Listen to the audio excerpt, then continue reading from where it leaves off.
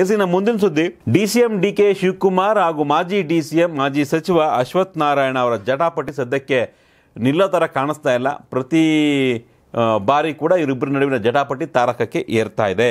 ಬೆಂಗಳೂರು ಅಭಿವೃದ್ಧಿ ಸಚಿವರು ಆಗಿರ್ತಕ್ಕಂಥ ಡಿ ಕೆ ಶಿ ಅವರನ್ನು ಡಿಸ್ಟ್ರಕ್ಷನ್ ಮಿನಿಸ್ಟರ್, ಅಂದರೆ ಡಿ ಕೆ ಶಿವಕುಮಾರ್ ಅಭಿವೃದ್ಧಿ ಮಂತ್ರಿ ಅಲ್ಲ ನಿರ್ನಾಮ ಮಂತ್ರಿ ಅಂತ ಆರೋಪವನ್ನು ಮಾಡಿ ಟೀಕಿಸಿದ್ರು ಅಶ್ವಥ್ ನಾರಾಯಣ. ಇದಕ್ಕೆ ಡಿ ಕೆ ಶಿವಕುಮಾರ್ ತಿರುಗೇಟನ್ನು ಕೊಟ್ಟಿದ್ದಾರೆ. ಅಶ್ವಥ್ ನಾರಾಯಣ ಅವರನ್ನು ನವರಂಗಿ ನಾರಾಯಣ ಅಂತ ವ್ಯಂಗ್ಯವಾಗಿ ಕರೆದವರೆ ಡಿ ಕೆ ಶಿವಕುಮಾರ್. ಅವರು ಅಶ್ವಥ್ ನಾರಾಯಣ ಅಲ್ಲ, ನವರಂಗಿ ನಾರಾಯಣ ಅಂತ ಡಿ ಕೆ ಶಿವಕುಮಾರ್ ವ್ಯಂಗ್ಯವಾಗಿದ್ದಾರೆ. ಕಳ್ಳರನ್ನು ರಕ್ಷಿಸಿದ್ದಕ್ಕಾಗಿ ಅವರಿಗೆ ಡಾಕ್ಟರೇಟ್ ನೀಡಲಾಗಿದೆ. ರಾಮನಗರವನ್ನು ಸ್ವಚ್ಛ ಮಾಡ್ತೀನಿ ಅಂತ ಹೇಳಿ ಅವರು ತಮ್ಮ ಜಿಲ್ಲೆಯಲ್ಲಿ ಇಡೀ ಬಿ ಜೆ ಪಿಯನ್ನು ಕ್ಲೀನ್ ಮಾಡಿದ್ರು.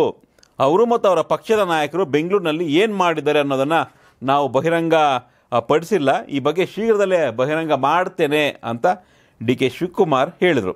ಇನ್ನು ನವರಂಗಿಯದ್ದು ಗೊತ್ತಿದೆ. ಅಂದರೆ ಅಶ್ವಥ್ ನಾರಾಯಣ ಅವ್ರದ್ದು ಗೊತ್ತಿದೆ. ಸಾಮ್ರಾಟ್ನದ್ದು ಗೊತ್ತಿದೆ. ಅಂದರೆ ಆರ್ ಅಶೋಕ್ನದ್ದು ಗೊತ್ತಿದೆ ನನಗೆ. ದಾಖಲೆಗಳ ಬಿಡುಗಡೆ ವಿಷಯ ಈಗ ಬೇಡ.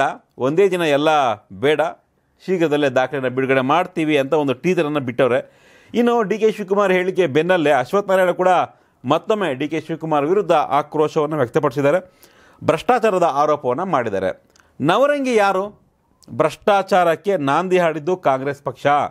ಅದನ್ನು ಅಭಿಮಾನದಿಂದ ಪೋಷಿಸಿ ಬೆಳೆಸಲಾಗಿದೆ. ಭಿಕ್ಷೆ ಬೇಡಿಕೊಂಡು ಅಧಿಕಾರಕ್ಕೆ ಬಂದವರು. ರಾಮನಗರದಲ್ಲಿ ಜನರಿಗೆ ಒಳಚರಂಡಿ ನೀರು ಕೊಡಲಾಗ್ತಿದೆ ಅಂತ ಅವರದ್ದೇ ಶಾಸಕರು ಹೇಳ್ತಾ ಇದ್ದಾರೆ. ಕನಕಪುರ ಹಿಂದುಳಿದ ಕ್ಷೇತ್ರ ಅಂತ ಅಶ್ವತ್ಥನಾರಾಯಣ ಟೀಕೆ ಮಾಡಿದ್ದಾರೆ. ಒಟ್ಟಿನಲ್ಲಿ ಯಾರಪ್ಪ ಗಂಡಸು ಅಲ್ಲಿಂದ ಶುರುವಾಗಿ ನವರಂಗಿ ನಾರಾಯಣವರೆಗೂ ಬಂದು ನಿಂತ್ಕೊಂಡಿದೆ. ಈ ಹಿಂದೆ ಅಶ್ವಥ್ ನಾರಾಯಣ ಸಚಿವರಾಗಿದ್ದಾಗ, ರಾಮನಗರ ಜಿಲ್ಲೆಯ ಉಸ್ತುವಾರಿ ಆಗಿದ್ದಾಗಲೂ ಕೂಡ D K Suresh versus Ashwath Narayana ಜಟಾಪಟಿ ಇತ್ತು. D K Shivakumar versus Ashwath Narayana ಜಟಾಪಟಿ ಇತ್ತು. ಕಾಂಗ್ರೆಸ್ ಸರ್ಕಾರ ಬಂದರೂ ಕೂಡ ಇವರಿಬ್ಬರ ನಡುವಿನ ಮನಸ್ತಾಪ, ಜಟಾಪಟಿ ತಾರಕಕ್ಕೆ ಏರ್ತಾ ಇದೆ. ನಿಲ್ಲುವಂಥ ಲಕ್ಷಣಗಳು ಕಾಣಿಸ್ತಾ ಇಲ್ಲ. ಏಕವಚನದಲ್ಲಿ ಬೈದಾಟಗಳು ಆಗ್ತಾ ಇದ್ದಾವೆ ನೋಡೋಣ ಇವರ ಒಂದು ಏನು, ಜಟಾಪಟಿಗೆ ಬೈಗುಳಕ್ಕೆ ವೈಯಕ್ತಿಕ ನಿಂದನೆಗಳಿಗೆ ಫುಲ್ ಸ್ಟಾಪ್ ಬೀಳುತ್ತಾ ಅಂತ. ಈ ಹಿಂದೆ ನಿರ್ಮಾನಂದ ಸ್ವಾಮಿಗಳು ಸಂಧಾನ ಮಾಡಬೇಕು ಅಂತ ಇಬ್ಬರನ್ನು ಕರೆಸಿ ಮಾತನಾಡಿದ್ರಂತೆ, ಬಟ್ ಪ್ರಯೋಜನ ಆಗಿಲ್ಲ. ನೋಡೋಣ, ಮುಂದಾದರೂ ಆಗುತ್ತಾ ಅಂತ. ಎಸ್ ಇನ್ನು